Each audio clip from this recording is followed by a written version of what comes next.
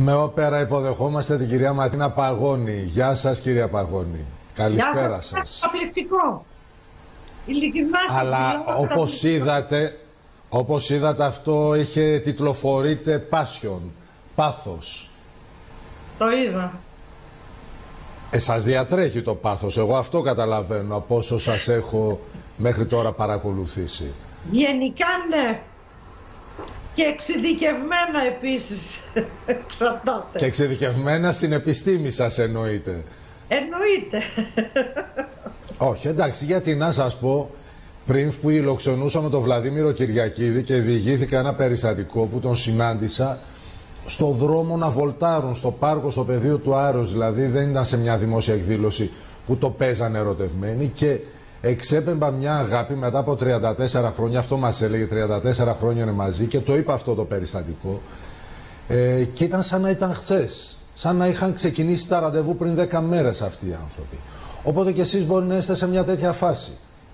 Δεν ξέρω, πραγματικά δεν, δεν ξέρω. Μία δεν ξέρω φάση καν πανω κάτω ποια. Με την ιατρική τώρα και με την ε, νόσο COVID. Εμείς έχουμε πάθει. Είστε και με την πολιτική. Είστε και με την πολιτική όπως ακούω. Κύριε Πολύζο, ε, εγώ αυτή τη στιγμή δεν έχω αποφασίσει τίποτα και δεν έχω συζητήσει. Οκ. Αυτή τη στιγμή είμαστε... Άρα λέτε είναι κάτι που σέρνετε ρήμην σας αυτό για την πολιτική.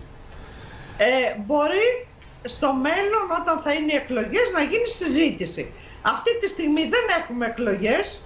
Ε, έχω βαρεθεί να ακούω συνέχεια να λένε όλοι εκλογές θα γίνουν αύριο, εκλογές τον Σεπτέμβριο, εκλογές τον Αύγουστο. Ε, έχει γίνει και κουραστικό και στον κόσμο. Ο κόσμος θέλει Αυτό τώρα είναι να πάει να αλήθεια. κάνει τις διακοπές του. Θέλει να πάει να περάσει όμορφα μετά από δύο χρόνια πίεσης και μετά να γυρίσει. Όταν θα αποφασίσει ο Πρωθυπουργός για να πάμε σε εκλογές, νομίζω το ξεκαθάρισε πλέον. Και δεν Ε, έχει τώρα μην νόημα. με τσιγκλάτε όμως. Μην με τσιγκλάτε όμως κι εσείς, κυρία Παγώνη, γιατί προσπαθώ να κάνουμε ιατρικού περιεχομένου συζήτηση. Ο- ο- δεν, τροφοδοτούσε, δεν τροφοδοτούσε μέχρι την προηγούμενη Πέμπτη που έκανε τη συνέντευξη στα τρία χρόνια από την εκλογή του στον Sky και έβαλε άλλες διαστάσεις στους χρόνους των εκλογών δεν τροφοδοτούσε ο ίδιος ο Πρωθυπουργός μέχρι Εγώ τώρα το πιστεύω σενάριο του φθινοπόρου. Ο Ε, Πρωθυπουργός, ο Πρωθυπουργός ο ίδιος δεν τροφοδοτούσε. Το ότι ξεκίνησε... Μα έλεγε τίποτα δεν αποκλείεται, όλα είναι ανοιχτά, το τροφοδοτούσε και εκείνος. Τέλος πάντων, Ε, λοιπόν. Θα σας πω το εξής.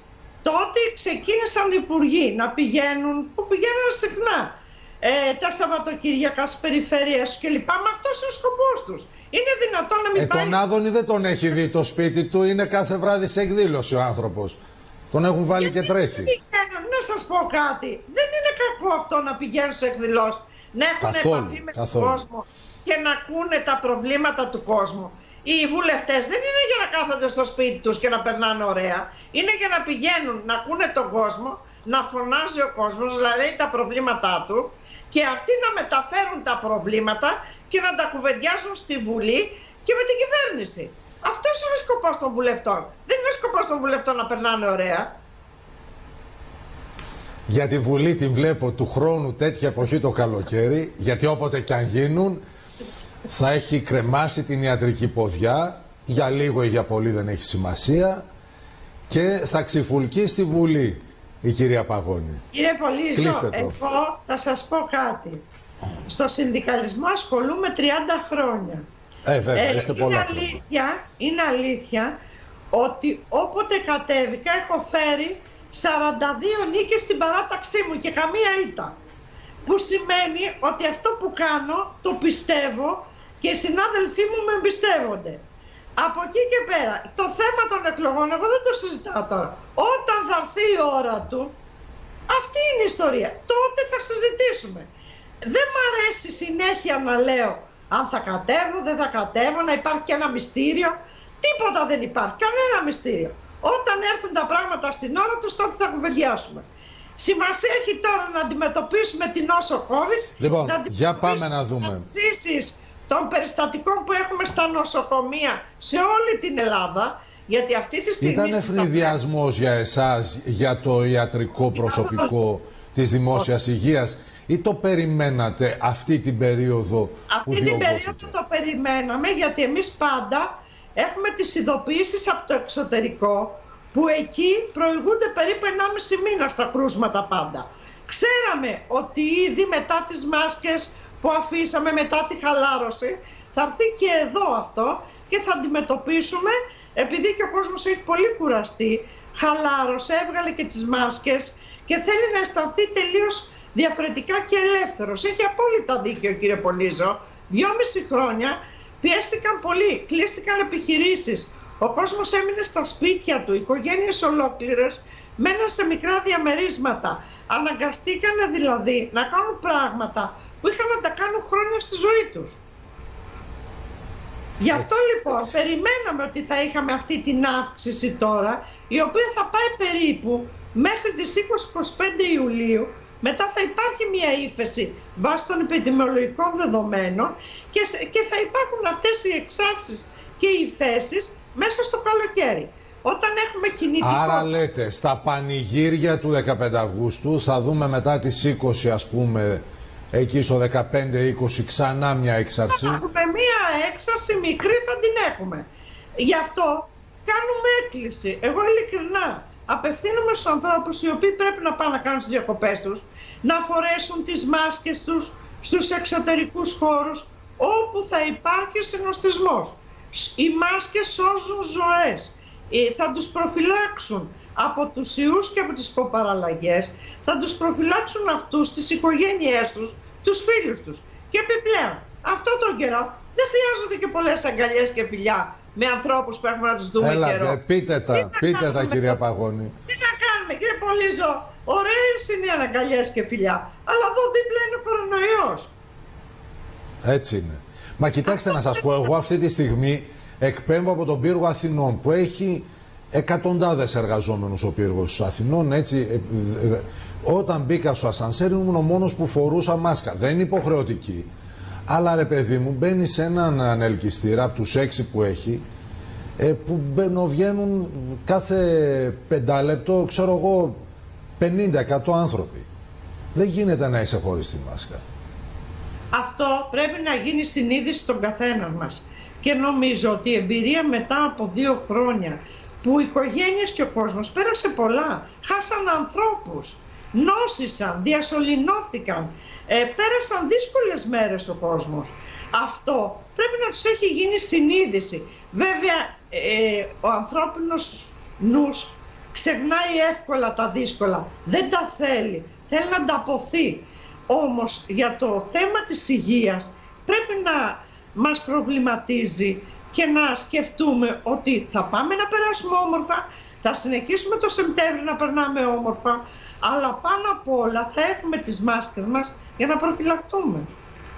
Ήταν λάθος η κατάργηση της μάσκας στα μάρκετ, στα αεροπλάνα, στα υπεραστικά λεωφορεία. Εκεί έπρεπε να διατηρηθεί, έπρεπε να εναρμονιστούμε με την υπόλοιπη Ευρώπη γιατί ένα εσωτερικό δρομολόγιο θα το πάρει και ο ξένος που έχει ξεσυνηθίσει τη μάσκα, την έχει πετάξει από καιρό στη χώρα του. Εμείς ήμασταν οι τελευταίοι που πετάξαμε τις μάσκες συγκριτικά με Ευρώπη και τον υπόλοιπο κόσμο. Αυτή Αυτό είναι η αλήθεια. Η προσωπική μου άποψη ήταν ότι έπρεπε να μείνουν περίπου μέχρι τις 10 Ιουλίου οι μάσκες. Ούτως ώστε να περάσουμε τα τριήμερα, τετραήμερα, να περάσουμε την κινητικότητα που υπήρχε όλο αυτό τον καιρό και σιγά σιγά κατά τις 10 Ιουλίου να τις αφήναμε τις μάσκες. Όμως δεν μπορείς να κάνεις και κάτι διαφορετικό από αυτό που κάνει όλος ο κόσμος.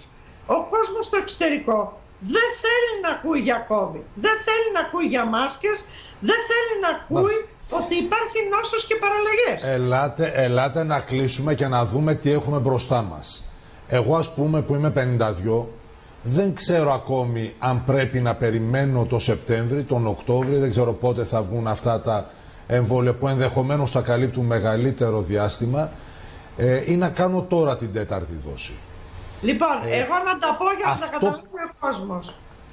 Από 60 και άνω, επειδή υπάρχουν μελέτες, το τονίζω, υπάρχουν μελέτες που λένε ότι θα βοηθήσουν, γιατί αυτοί οι άνθρωποι έχουν και υποκείμενα νοσήματα, θα πρέπει να κάνουν τη δεύτερη αναμνηστική ή τέταρτη δόση ή 30 με 59 δεν έχουμε τεκμηριωμένα επιστημονικά με μελέτες μπορεί να τα έχουμε σε ένα μήνα, σε δύο, δεν το ξέρω Όμως μέχρι 59 από 30 δεν έχουμε επιστημονικά δεδομένα. Άρα δεν είναι απαραίτητο αυτοί να κάνουν Άρα να περιμένω. Και, ακριβώς. Και υπάρχει και μία τρίτη ομάδα που έχει κάνει και την τρίτη δόση και μετά την τρίτη δόση νόσησε. Αυτοί δεν χρειάζονται να κάνουν τέταρτη δόση ή δεύτερη αναμνηστική. Δεν χρειάζεται. Ωραία. Είναι σαν να την έχουν κάνει. Αφήνω την υγεία μου στα χέρια σας κυρία Παγώνη. Σας ευχαριστώ. Την επόμενη φορά με περισσότερο χρόνο. Τι να κάνουμε; Όσοι την άφησα στα χέρια μου πήγαν καλά. Μέχρι τώρα. Πήγαν καλά. Όχι, όχι, πραγματικά δεν το λέω, δεν το λέω χαριτωμένα. Το εννοώ, δηλαδή με πείσατε ότι θα περιμένω γιατί μετά την τρίτη δόση νόσησα, οπότε είμαι στην τρίτη ομάδα Έχει, που περιγράψατε ότι δεν χρειάζεται. Τέταρτη δόση. Και να πω και κάτι άλλο, ότι περιμένουμε το προσαρμοσμένο εμβόλιο αλλά δεν είναι σίγουρο ότι θα έρθει Σεπτέμβρη, ίσως λίγο αργότερα. Εμείς όμως θα πορευτούμε με τα εμβόλια που έχουμε, γιατί μας ενδιαφέρει για την υψηλή νόσηση. Αυτό. Ευχαριστούμε θερμά. Είστε επανειδήν. Γεια σας κύριε Παγώνη. Γεια σας. Να είστε καλά. Γεια σας.